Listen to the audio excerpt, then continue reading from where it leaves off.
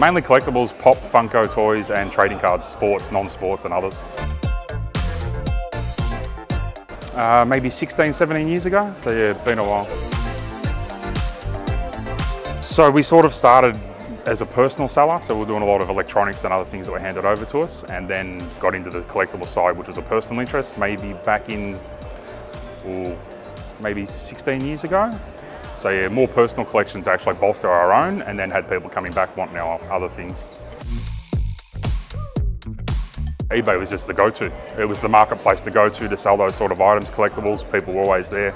Uh, and being at the forefront of technology, it was something you always just grabbed. So you saw the opportunities and a marketplace and people that you couldn't see at market stalls that you were selling at.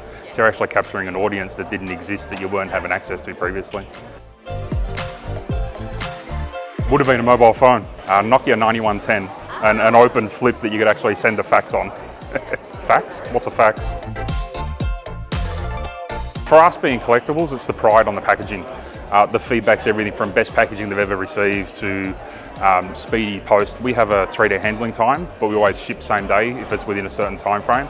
So that sort of blows it out of the water. So most feedback comes around speed and efficiency in shipping, as well as care put into the package. Uh, it's not a specific comment, but if you go through reviews, almost everyone's mentioning the speed and the efficiency with the packaging, and each one of those just add up to each other for us.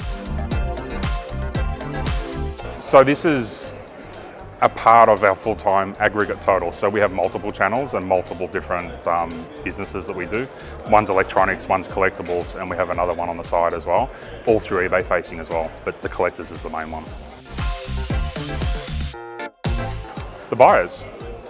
The ability to have somebody happy to find something that they couldn't find. Uh, having an item that nobody else could actually get for them and sending it to them in a condition that they'd happy to have it.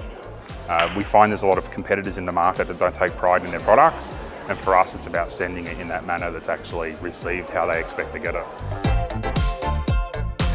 I think sending offers to buyers is really good. Uh, it actually helps you stimulate if you need to increase both your cash flow and also get the opportunity for additional sales.